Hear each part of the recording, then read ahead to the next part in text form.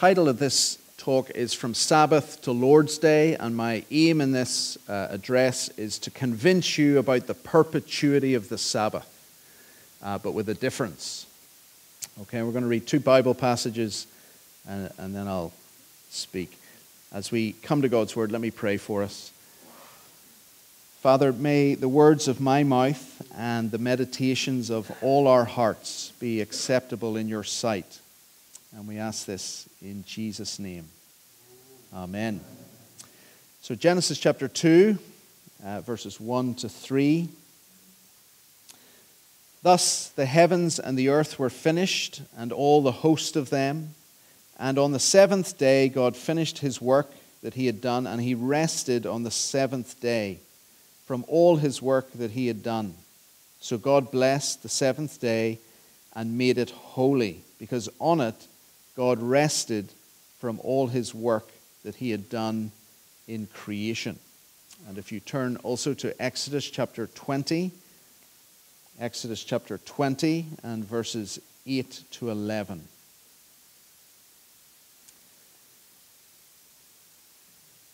Remember the Sabbath day to keep it holy. Six days you shall labor and do all your work, but the seventh day is a Sabbath to the Lord your God.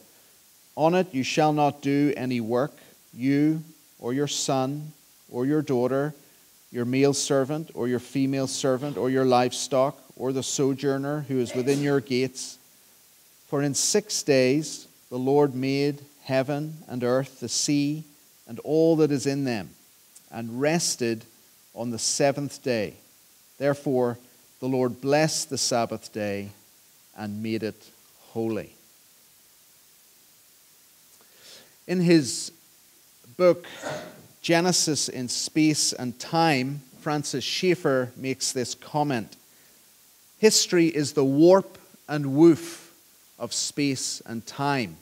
The fabric of history is the interweaving of space and time. That is no more true than when it comes to the opening prologue of the Christian scriptures, Genesis 1 1 to 2 3. In the prologue, we are presented with created space, the heavens and the earth, and also ordered time, the seven day week which climaxes in the Sabbath. This is what makes for history, according to Schaeffer. The warp and woof of God's created time and of created space and ordered time. When these two realities interweave, when they intersect, we get history we get the history of the world. Which means that if we want to understand the history of the world, we really need to understand the space and the time that God created. In particular, we need to understand His holy space and His holy Sabbath. Because the history of the world not only begins with the heavens and the earth in relation to the Sabbath, it continues with holy bounded space in Eden and then Canaan in relation to the Sabbath. And it consummates with the new heavens and the new earth in relation to the Sabbath. Biblical history is really the warp and woof of holy space and holy time. We might even say that it is the interweaving of God's space and God's Sabbath. Now, for our purposes this afternoon, I'm going to focus in on God's Sabbath as an integral component of the unfolding history of the world. And in true Reformed fashion, I'm going to do it under five points. So, number one, uh, the Sabbath is protological. The Sabbath is protological. What I mean is, the Sabbath belongs to the things that God first made in the beginning. Protology is the study of origins, the study of first things. And the Genesis prologue gives us two protological realities that God made in the beginning space and time. He first made protological space. In the beginning, God created the heavens and the earth. First, he made the heavens. You'll notice that it's plural, which means there's more than one of them. If you cast your eyes down, chapter 1, verse 8, you'll see that God creates an expanse between the waters below and the waters above, which he calls heaven. The expanse, rakia in the Hebrew, is where the sun and moon are placed in verse 14. So we might call these the sunny, starry heavens or the space heavens, the ethereal heavens. These are the regions beyond this earth, what today we would call space or outer space. Then in chapter 1, verse 20, we have another reference to this expanse of the heavens. It is what the birds are said to fly across. Now, we, don't, we, we know birds don't fly up in space where the sun and moon exist. Uh, they fly in the sky, which must mean a lower region of the expanse of the heavens. We might call these heavens the sky heavens, the airy heavens. I think this is the best description because in verse 26 and 28 they're called uh, the birds of the heavens. And by heavens, it can't mean outer space where the sun and the moon are, since we know birds don't fly up there. Uh, so it's got to be the lower regions. So these heavens seem to be distinguished from the space heavens. So we have the sky heavens and the space heavens. Two heavens that are the natural heavens that God created in the beginning. But Scripture also speaks of the supernatural heavens where God Himself dwells. Isaiah 66, verse 1 Heaven is my throne, and the earth is my footstool. That heaven is neither the natural sky heaven or the natural space heaven it is rather the supernatural, supreme heaven where God dwells on his throne. Now, we should be clear that this heaven, this supernatural, supreme heaven, is not eternal. It has not always existed. Before the beginning, God did not live in heaven. He did not live in this heaven. Before the beginning, there was no heaven. There was only God which means that this heaven must have been created. And Nehemiah chapter 9, verse 6 affirms this You are the Lord, you alone, you have made heaven, the heaven of heavens, with all their host, the earth and all that is on it, the seas and all that is in them, and you preserve all of them, and the host of heaven worships you. So clearly, there's a third kind of heaven other than the sky heaven, other than the space heaven which God made in the beginning. I'm calling it the supreme heaven, the Empyrean heaven. In 2nd Chronicles 6:18, Solomon refers to it as the highest heaven. In 1 Kings 8:31, he calls it the heaven of heavens. This is where God dwells. This is where he is worshiped by the heavenly host. So, to sum up, with regard to Genesis 1 1, the heavens that God creates in the beginning, in the beginning are at least three heavens the sky heavens that the birds fly across, the space heavens that the sun and the moon are placed in, and then the supreme heavens where God dwells on his throne and is worshipped by the host of heaven. In the beginning, God created the heavens. He also created the earth, one earth. And just like the heavens, God made distinct spaces on the earth. He formed the expanse of the heavens just above the earth by separating the waters below from the waters above. This is the sky, which we've just mentioned. It's the lower regions of the expanse of heaven. It is spoken of in relation to the earth. Then he formed the seas by gathering the waters together and allowing the dry land to appear. So God created spaces on earth, matching the spaces in heaven, we might say. He created sky, sea, and land.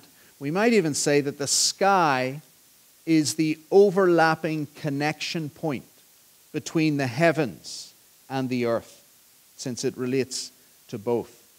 And so this is how history begins with a holy God dwelling in his holy space History begins with God seated on his throne in heaven, with the earth as his footstool, being worshipped by angels above and creatures below. And history continues with this same protological space the sky heavens, the space heavens, and the supreme heavens. They all still exist today, just as, just as they did at the beginning of creation. It's the same heavens that he made in the beginning, and it's still the same earth that remains as his footstool. Nothing has changed. And because nothing has changed, this is why we sing on the Lord's Day God is in his temple, the Almighty Father, round his footstool, let us gather. So that's the protological space that God made in the beginning, which remains the same today. But in the beginning, God also made time. He made protological time. In the beginning, God created and established time. We see this by the time markers that are effused throughout the Genesis prologue. There's the beginning of time, verse 1. In the beginning, God created the heavens and the earth. Then there are the boundaries of time, verses 4 to 5. God creates daytime and nighttime. The light he calls day, and the darkness he calls night. Two time boundaries. God also sets the bookends of these boundaries of time evening and morning. The phrase is repeated six times for each of the six, first six days of creation. Uh, the phrase could be a way of bookending the main periods of the day. There, and there was evening, ends the period of daytime. And there was morning, ends the period of nighttime. Or the phrase could be a way of marking a day from the beginning of the day to the end of the day. The Jews began their days in the evening, and there was evening, and their day continued in the morning, and there was morning. I think the latter interpretation is best since it reflects the order of time under the Jewish calendar for the first age of the world. But whatever view we take on, and there was evening and there was morning, we see the rhythm of time sounding all the way through chapter 1. And there was evening, and there was morning the first day, and there was evening, and there was morning the second day. Then there are the markers of time, verses 14 to 18. The sun and the moon are placed in the expanse of the heavens, not just to give light, but do you notice, verse 14, to mark time. In fact, that's the dominant pur- purpose in verses 14 to 18 to mark time. The primary purpose of the sun and moon is not to give light, but to separate day and night, two time references to mark signs and seasons, days and years, more time references. Then there are the registers of time throughout the chapter first day, second day, third day. These are ordinal numbers, not cardinal numbers. The days are labeled first, second, third, fourth, fifth, sixth, seventh in the Hebrew. They're not labeled day one, day two, day three, day four, five, six, seven, as if they are simply literary constructs that can be moved around and matched with each other. Meredith Kline tries to do this with his literary framework hypothesis, but as a result, basically, in my humble opinion, ends up mangling the text. He dechronologizes a highly chronological text. He changes the ordinal numbers into cardinal numbers. And then he tries to match the days of creation by a forming, filling scheme. You've probably heard it. I think it's probably the most popular way to describe Genesis 1 in simple terms. On days 1 to 3, God forms realms. On days 4 to 6, he fills those realms. And then what Kline does is he tries to match the days day one and day four match, day two and day five, day three and day six. But when you take a closer look uh, you see that it doesn't actually work. Like, for a start, uh, God made, forms the light on day one.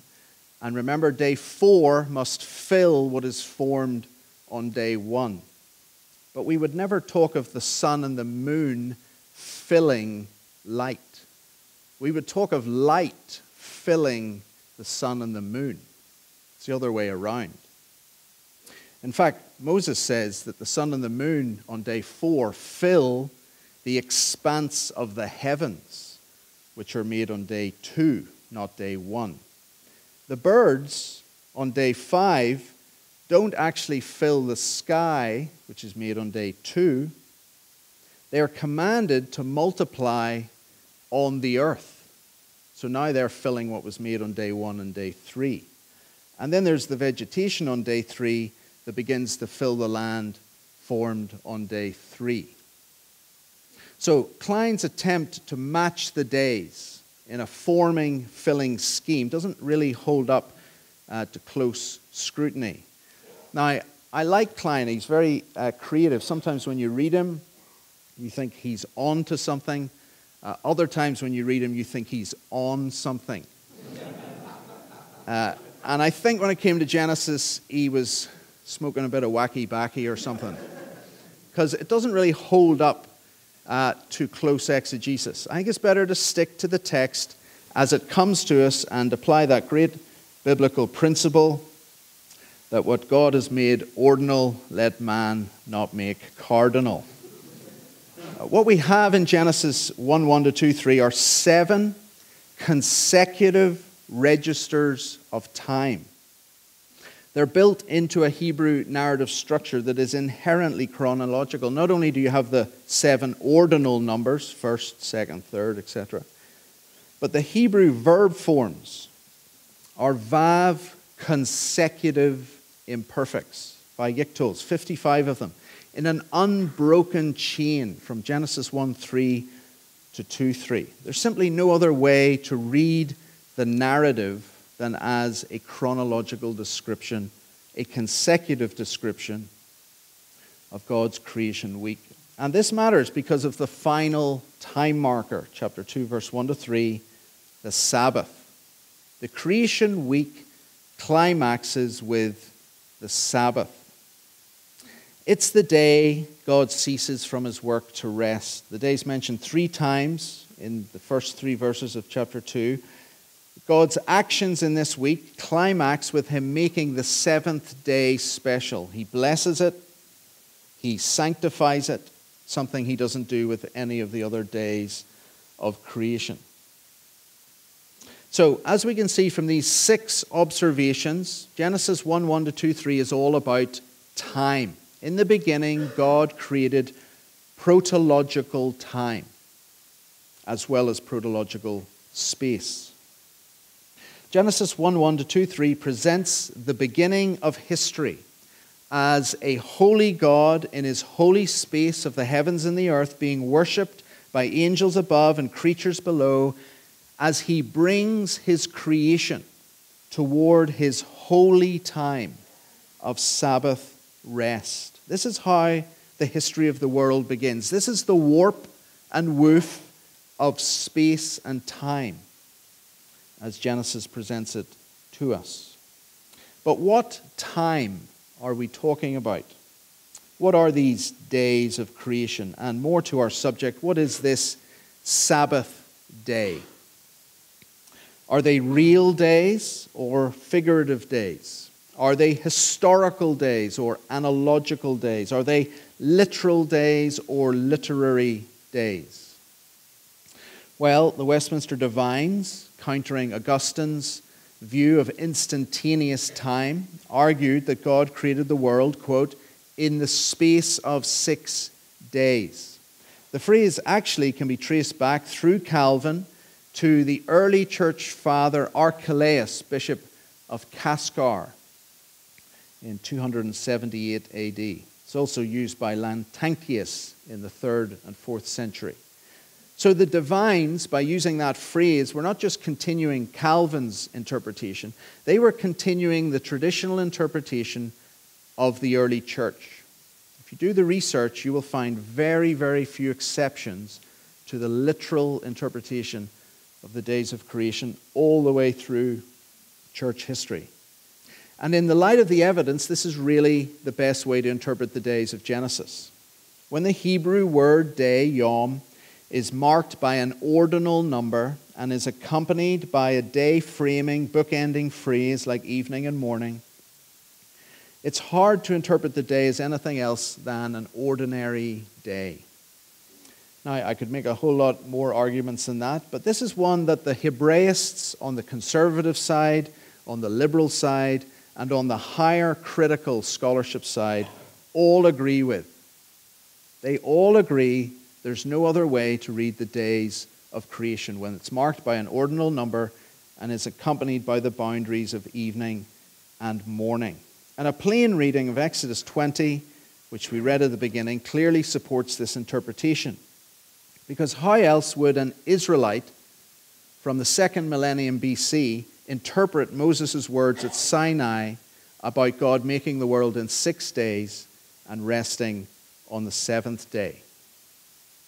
But if someone still wishes to hold to, the, uh, to one of the alternative views on the days of creation, here's the challenge. Every alternative interpretation of the days of creation cannot give an account for the ontological origination of the ordinary day, or the ordinary week, or the ordinary Sabbath. Let me say that again. Every alternative interpretation of the days of creation cannot give an account for the ontological origination of the ordinary day, the ordinary week, or the ordinary Sabbath. Now, here's the problem with that. From Genesis 2 onwards, the text of Scripture assumes the ordinary day, the ordinary week, the ordinary Sabbath. If ordinary days did not begin at creation, in Genesis 1 1 to 2 3, then when did they begin? The genealogy in Genesis 5 speaks of the days of Adam after he fathered Seth, and then gives his age in years. Years are made up of days, so ordinary days must be in existence in Adam's lifetime. But when did they begin? If not at the beginning. If the ordinary days did not begin in Genesis 1, then they just pop up in biblical history out of nowhere. And yet, it is essential to how Genesis and the rest of the Bible speaks of time periods in the life history of key people or events. For example, there are set periods of days related to the flood seven days, 40 days, 150 days. When were these days established as ordinary days, if not at the beginning of creation? The same goes for the ordinary week. If the ordinary week did not begin at creation, when did it begin? The first reference to seven days occurs in the flood when Noah is waiting for the flood waters to come, and then again after the flood when he sends out the dove. On two occasions, he waits seven days for the dove to return. There are other references to seven days in Genesis. Laban pursues Jacob for seven days when he flees from him. Joseph laments for his father Jacob, seven days. The seven day period recurs in Exodus 12 concerning the Passover. Israel is to eat unleavened bread for seven days. Every alternative interpretation of the seven day week of Genesis cannot give an account for the ontological origination of the ordinary week. It just pops up in biblical history out of nowhere. The same could be said about the Sabbath. If the Sabbath day in Genesis 2 1 to 3 is not an ordinary seventh day in an ordinary week, but some sort of eternal day, then the question is when was the first ordinary Sabbath day. When did it begin? The first reference to the Sabbath after Genesis is Exodus 16, where Moses commands that Israel gather uh, manna for six days, but not on the seventh day. And Moses gives the explanation, which is a Sabbath. Now, this was pre Sinai. They hadn't got the Ten Commandments yet, and yet Israel clearly have an understanding of the ordinary Sabbath day. Now, if the ordinary Sabbath was not created as protological time in protological space in the week of creation, then the question is when was the Sabbath day created as an ontological reality in the life cycle or time cycle of history? Every alternative interpretation of the seven day week of Genesis cannot provide an account for the ontological origination of the ordinary Sabbath. It just pops up in biblical history out of nowhere. Now, of course, if one holds to the literal interpretation, which was the dominant interpretation of the church before the Enlightenment, then the answer to these questions about the ordinary day, ordinary week, ordinary Sabbath is simple. They received their ontological origination by God in the beginning. And isn't that what Exodus 20, verse 11 to uh, 8 to 11 states? Israel are to remember the Sabbath, which presupposes its pre existence. They're to keep it holy. Why? Because that's the day on which God Himself rested. He worked for six days and then rested on the Sabbath. The analogy in Exodus 20 is not between the days, as if you have divine days of God's work, week in creation, and human days of Israel's work week in Canaan. The analogy is not between the days, the analogy is between the workers. God worked for six ordinary days and rested on the Sabbath. Man is to work for six ordinary days and rest on the Sabbath. They are the same days, but different workers. And the human worker is to image the divine worker. So, to sum up this first point, in the beginning, God made protological space and time. The protological space he made was real and literal, the heavens and the earth, which remain the same to this day. The protological time he made was real and literal the ordinary day, the ordinary week, the ordinary Sabbath as a climax of that week.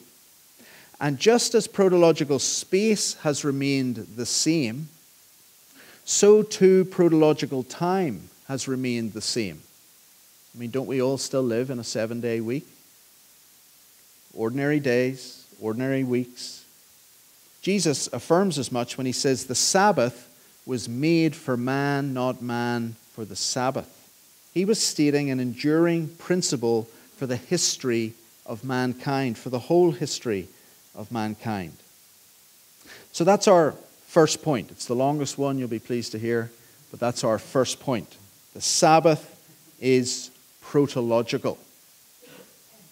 Now, the reason I've spent so long on this first point is because soteriology maps onto protology. Soteriology maps onto protology. So here's the second point the Sabbath is redemptive historical. The Sabbath is protological, and second, it is redemptive historical. The protological space and time created by God at the beginning becomes the physical and temporal framework in which redemption unfolds in history. So we're back to Schaeffer's comment. History is the warp and woof of space and time. And this is especially so when it comes to redemptive history.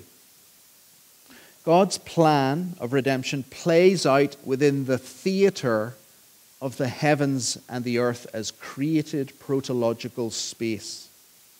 And it plays out within the created protological timeline of the weekly rhythm of the seven day week with the Sabbath as the last day of the week. Let me show you what I mean. Let's take soteriology and protological space, for example. Soteriology and protological space. After Adam falls, God does not abandon the created heavens and earth in his redemptive plan, he operates within it. God the Son comes down from heaven, as the Nicene Creed affirms, who for us men and for our salvation came down from heaven. That is, he comes down from the created space of the heaven of heavens that God made in the beginning to be his dwelling place. the space in which angels worship God as Father, Son, and Holy Spirit. The Son of God came down from that space into our space, into this earth. And he became incarnate in a virgin's womb. He then lives on earth for 33 years. He walks on dry land. He sails on the seas of Galilee. He even walks on the waters. Near the end of his life, he goes into a garden to pray as death casts its dark shadow over him. And then he hangs on a cross. Think about the space suspended between the heavens and the earth. After he dies, he goes into a tomb in the earth, into the belly of the earth, like Jonah in the belly of the fish. He goes down into Sheol, the lowest, the lowest part of the earth. The flood waters of judgment pass over him. Then, after three days, he rises again from the dead and he appears in a garden, being mistook for the gardener. And then, after 40 days on earth, he ascends into heaven. He goes through the sky heavens, through the space heavens where the sun and the moon are, and into the third heavens, the supreme heavens, into the presence of God and his heavenly host. And there he sits down on a throne. And he is still seated on that throne in that holy space of the supreme heavens. In the beginning, God created the heavens and the earth. They are the theater in which redemption plays out. And right now, Christ is seated in those heavens, and the earth is his footstool. The drama of soteriology is mapped onto and played out in the protological space of the original space of the heavens and the earth. This is why we need to believe what Genesis says. In the beginning, God created the heavens and the earth. Soteriology only makes sense in light of protology. Now, this is the same with regard to soteriology and protological time. Soteriology and protological time. Three examples here.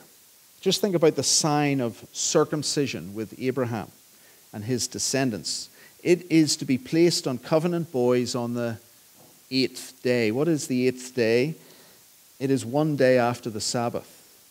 It is the first day of a new week. It symbolizes a new beginning. But the symbolism of the eighth day only makes sense. It only works because of the fixed order of a seven day week. Or think about the saving work of Christ, how it plays out in relation to the ordinary week. Jesus dies on a Friday afternoon at 3 o'clock at the time of the evening sacrifice. He dies, interestingly, on the same day of the week on which Adam was created, a Friday. He dies at the end of a working week. He sleeps through the Sabbath in his death and burial. And then he rises to new life on the eighth day, the first day of a new week, symbolizing a new beginning. The symbolism only makes sense on the fixed order of a seven day week with the Sabbath as the last day of the week. Third, think about the significance of Pentecost. Pentecost occurs 50 days after the Passover Sabbath. That is, the Passover was on a uh, Thursday night, Friday, and then the Sabbath was the day after. Pentecost occurred 50 days from that Sabbath. Now, if you can remember your times tables, 7 times 7, uh, 49. Paul Levy's got his phone out at the moment, just trying to Stick that in. 7 times 7, 49, plus 1, 50. So, what day does Pentecost occur on? A Sunday, first day of the week. But the symbolism of Pentecost occurring 50 days after the Passover Sabbath, it only makes sense on the scheme of an ordinary week with the Sabbath as the last day of the week. The drama of soteriology plays out in lockstep with protological time of the seven day week with the Sabbath as its climax. In this sense, the Sabbath is redemptive historical. The Sabbath frames and structures redemptive history. So, we've seen two things so far about the Sabbath protological and redemptive historical. Third, the Sabbath is typological. The Sabbath is typological. Not only is it protological, but it is also typological. The Sabbath points beyond itself to another reality. We get the hint of this in the way the seventh day is spoken of in chapter 2, verses 1 to 3. I wonder if you notice what was missing in those verses describing the Sabbath. There was no evening and morning. In this way, it points symbolically and typologically to a day that never ends. The Sabbath serves as a type of the rest to come, the rest of the eternal day in a new creation. The day, in this sense, was a sign of what lay beyond this life. The Sabbath was symbolic of the eternal blessedness that Adam could earn in the covenant of works. Through his obedience in the covenant of works, Adam was meant to bring himself and his posterity into eschatological rest, of which the Sabbath was a sign. I like to say that Genesis 1 and 2 can be summarized as God's kingdom in his new creation under his son and bride, awaiting a Sabbath rest. That is the end of day six. God's kingdom in a new creation under his son and bride, awaiting a Sabbath rest. But Adam never brought us into that eschatological rest of which the day was a type. Instead, he brought unrest, not rest. Instead of blessedness in the presence of God, he brought curse and restlessness away from the presence of God. And the rest of the Bible is about man's pursuit of that Sabbath rest. And as such, the weekly Sabbath serves as a weekly reminder to man of what he ought to be focused on the blessed, eternal rest in God's presence. Now, in saying that this Sabbath in Genesis 2 1 to 3 is typological, we mustn't make a hermeneutical misstep here, which those who advocate the literary framework and also the analogical position, I think, make. Some people, like those who propose the analogical view, argue that since there are no time boundaries, such as evening and morning, attached to the seventh day here, this must mean that the day itself is not an ordinary day. Rather, it's an eternal day. It's God's Sabbath, so it has to be eternal, since God rests on it and he doesn't return to work on Sunday morning.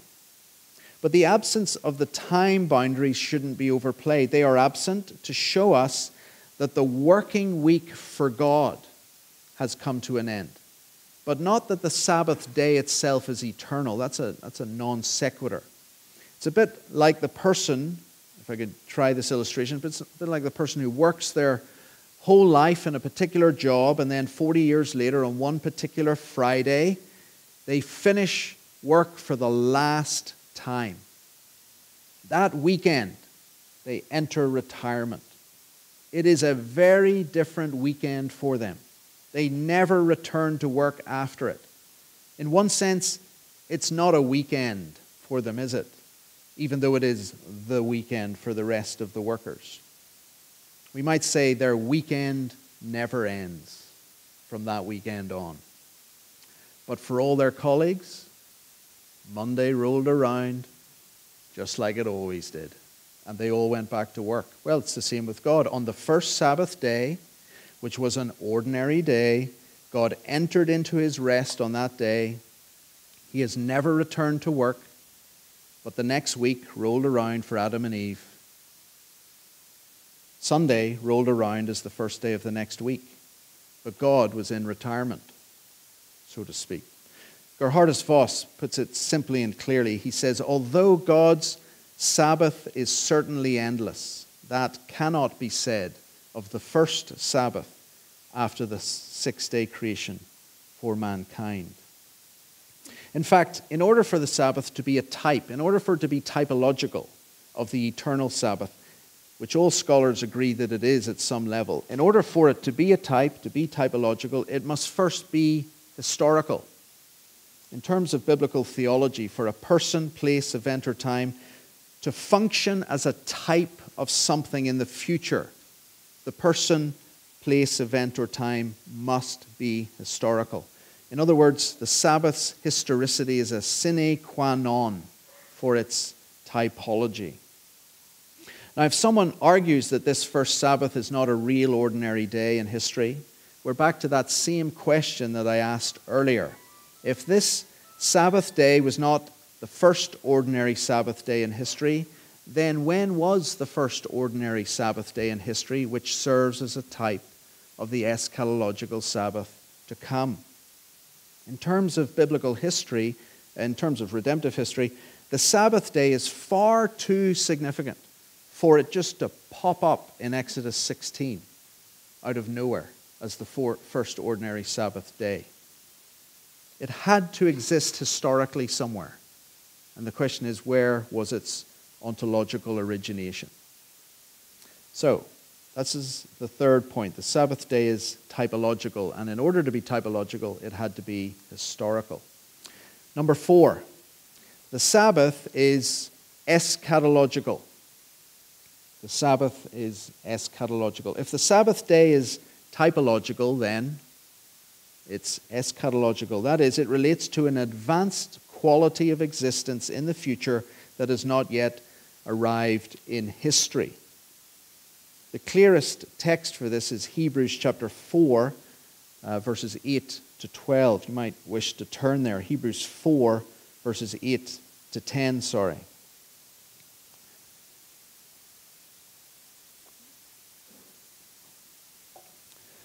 The writer to the Hebrews says, For if Joshua had given them rest, God would not have spoken of another day later on. So then, there remains a Sabbath rest for the people of God, for whoever has entered God's rest has also rested from his works, as God did from his. You can see there that the writer of Hebrews makes it clear that there yet remains a Sabbath rest for the people of God, which means that the typological has not yet become the eschatological. And if this is so, then the typological remains. And if the typological remains, then the Sabbath remains, because the Sabbath is the type. Which raises the question of the perpetuity of the Sabbath. Is the Sabbath still operative today? Is it still a protological reality functioning as a type of an eschatological reality? And if so, are we to observe the Sabbath today? Answer yes, but. Okay? Yes, but. And in order to answer the yes part, I'm going to go back to two of my earlier points, and then we'll come to the fifth point for the but part. Yes, we're to observe the Sabbath today because the Sabbath is protological. In the beginning, God made protological space and time, and neither has changed. Neither has changed. We are still living in the exact same universe with the heavens and the earth that God made in the beginning. And we're still living in the exact same time cycle of a seven day week, which was established at the beginning of creation. In this sense, the Sabbath remains. So, yes, we are to observe the Sabbath. It is a creational ordinance, not a ceremonial ordinance. Moses said, Remember, remember the Sabbath. And then he pointed us back to the creation of the world and the first Sabbath. He did not point us back to the creation of the tabernacle and the Sabbath laws that were connected with the tabernacle. He pointed us back to creation. In other words, the law of the Sabbath precedes the law of Israel, the ceremonial law. Now, granted, within the theocracy of Israel, the Sabbath took on a certain ceremonial garb in a particular culture, for a particular time, in a particular nation, but it was not itself a ceremonial ordinance. It was, from the very beginning, a creation ordinance. So, yes, we are to observe the Sabbath because it is protological. We're also to observe the Sabbath because it is still typological and not yet eschatological. As we saw from Hebrews chapter 4, the Sabbath uh, serves as a type of a reality yet to come. But as Hebrews 4 tells us, that reality has not yet come. There yet remains a Sabbath for the people of God. The type of the Sabbath, then, cannot be obsolete when the reality of the Sabbath has not yet fully arrived. Hebrews 4 9 to 10 is clear. There yet remains a Sabbath for the people of God, and therefore there yet remains a type of that Sabbath. And if the type remains, then so too does its observance. So, yes, we are to observe the Sabbath because it is protological and because it is still typological and not yet eschatological. Which brings us to the fifth and final point. Yes, we are to observe the Sabbath, but it has changed. And it has changed because, number five, the Sabbath is Christological. The Sabbath is Christological. Now, this connects back to the second point the Sabbath is redemptive historical. Uh, but what I mean here is not simply that the Sabbath points to Christ or is fulfilled in Christ, both of which are true. Jesus did say, Come to me, all you who are weary and heavy laden, and I will give you rest. Jesus is the Sabbath rest that God's people were looking for. So, yes, the Sabbath points to Christ and is fulfilled in Christ. But I think we would be overly simplistic if we left it at that. Yes, Christ fulfills the Sabbath, but that doesn't mean that the type becomes obsolete. Rather, it undergoes a change. The sign of the Sabbath has been replaced with a new sign. The Sabbath has been replaced with the Lord's Day. The last day of the week has become the first day of the week. Now, this change in sign is seen with circumcision and the Passover. Uh, as an Old Testament sign, circumcision pointed to Christ, Colossians 2 12 to 13. But the sign did not become obsolete when Christ fulfilled it. Rather, it underwent a change. It was replaced with a new sign, the sign of baptism. Same with the Passover. As a sign, it pointed to Christ and his death on the cross as our Passover lamb. But what did Jesus do with the Passover meal? He didn't say, This is done now, we don't need to keep eating together. No, he inaugurated the Lord's Supper. It replaced the Passover meal. Well, so too with the Sabbath. It pointed to Christ who brings the eschatological rest, but when Christ fulfilled that initially in his first coming, the type did not become obsolete. He simply changed it and replaced it with a new type, the Lord's Day. So the Sabbath is Christological in the sense that Christ fulfilled it, but also in the sense that it underwent a change in the light of Christ's work. The day changes from the last day of the week to the first day of the week. Now, note the day does not change to become every day of the week. To say as much is to exhibit an over realized eschatology. We must respect the now not yet tension between Christ's first coming and his second coming, between him fulfilling the Sabbath initially and fulfilling the Sabbath ultimately. The day changes, not to every day of the week, but to the first day of the week. When will the Sabbath be every day of the week? In the new heavens and the new earth. But that is not yet. And here we should consider again the redemptive historical aspect of the Sabbath in relation to Christ's death and resurrection. Recall how I said Jesus dies on a Friday afternoon at the end of a working week. He then sleeps through the Sabbath in his death. And then he rises again on a Sunday morning, the first day of a new week, the day in which he brings eschatological rest through his resurrection in its initial form. The day he brings eschatological rest is not a Saturday, it's not the Sabbath. He brings eschatological rest to his people initially on a Sunday, the first day of the week. Or, as the biblical writers, the gospel writers like to call it, literally in the Greek, one day from the Sabbath. So when you're reading in your English Bibles, the first day of the week, it is literally in the Greek, one day removed from the Sabbath. Listen to the gospel writers and notice how they talk about the resurrection in relation to time references, in relation to protological time. Matthew. Now, after the Sabbath, toward the dawn of the first day of the week, literally, one day removed from the Sabbath, Mary Magdalene and the other Mary went to see the tomb. Mark. When the Sabbath was past, Mary Magdalene, Mary the mother of James, and Salome bought spices so they might go and anoint him. And very early on the first day of the week, literally, very early on one day removed from the Sabbath, when the sun had risen, protological space, when the sun had risen, they went to the tomb. Luke. It was the day of preparation, and the Sabbath was beginning. The women who had come with him from Galilee followed and saw the tomb and how his body was laid. Then they returned and prepared spices and ointments. On the Sabbath, they rested according to the commandment.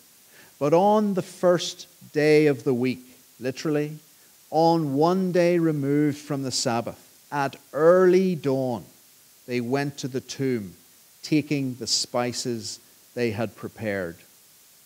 John, on the first day of the week, on one day removed from the Sabbath, Mary Magdalene came to the tomb early, while it was still dark, and saw that the stone had been taken away from the tomb.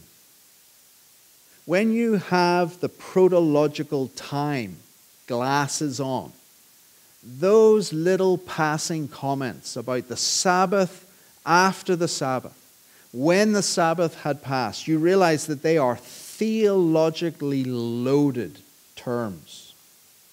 They are theological shorthand for saying that when the old age of the world was setting and the new age of the world was dawning, I mean, no wonder there was an earthquake at Christ's death and another one at his resurrection. The old order of the heavens and the earth was giving birth to the new order of the new heavens and the new earth in the person and work of Christ. By rising from the dead on the first day of a new week, Jesus left the Sabbath in the grave. He retired the old order of time under the old dispensation in which the Sabbath was the last day of the week. And in its place, by rising on the first day of a new week, he inaugurated a new order of time under a new dispensation in which the Sabbath was now the first day of the week, the Lord's Day. Here's how the Westminster Divines explain it in the Westminster Shorter Catechism, question 59. Which day of the seven has God appointed to be the weekly Sabbath? Answer From the beginning of the world to the resurrection of Christ, God appointed the seventh day of the week to be the weekly Sabbath, and the first day of the week ever since to continue to the end of the world, which is the Christian Sabbath. This is the but part of observing the Sabbath today. Are we to observe the Sabbath today? Yes, but no longer on a Saturday, under the old dispensation, but now on a Sunday, under the new dispensation. Why? Because the Sabbath is Christological. It finds its fulfillment in Christ, the great harbinger of rest. And precisely because it does, it undergoes a change, a fundamental change from Sabbath to Lord's Day. And isn't that what we see in the time cycle of the New Testament church? Remember Pentecost? The inauguration of the New Testament church? When does it occur? 50 days after the Passover Sabbath. It occurs on the first day of a new week. It occurs on the Lord's Day. In Acts, Christians are said to meet on the first day of the week. In Revelation, John receives his vision on the Lord's Day. This is the new structure, the new world order, because the Sabbath is Christological. The Sabbath is now the Lord's Day. So, we've seen five things. The Sabbath is protological, redemptive historical, typological, eschatological, and Christological. In closing, I want to return to that quote by Francis Schaeffer History is the warp and woof of space and time. The fabric of history is the interweaving of space and time. When we understand what history actually is, the warp and woof of space and time, then we will understand how historically significant our weekly worship is. When we gather each Lord's Day as God's people in a bounded space on earth around his footstool, we are making history. And we are telling our secular culture that one day world history will be church history. Now, I would have told you that was a quote from my brother, but given his introduction of me at the beginning, I'll leave it anonymous. One day, world history will be church history. And they, the secular world, should stop rebelling and should get on the right side of history. So, this Lord's Day, as we gather together in a building, wherever it is, or outside, may we appreciate afresh that we are participating in a historical moment in history, a history that will one day become recognized as the only history that was worth making. Let us pray. Father, may you please uh, reform us and your church to love again the structure and the significance of the Christian Sabbath, the Lord's Day. And as we experience it each Lord's Day, gathered with your people, worshiping you, joining the church triumphant in heaven, may you please refocus our pursuit of that eternal blessed rest in the celestial city above. And we ask this in Jesus' name. Amen.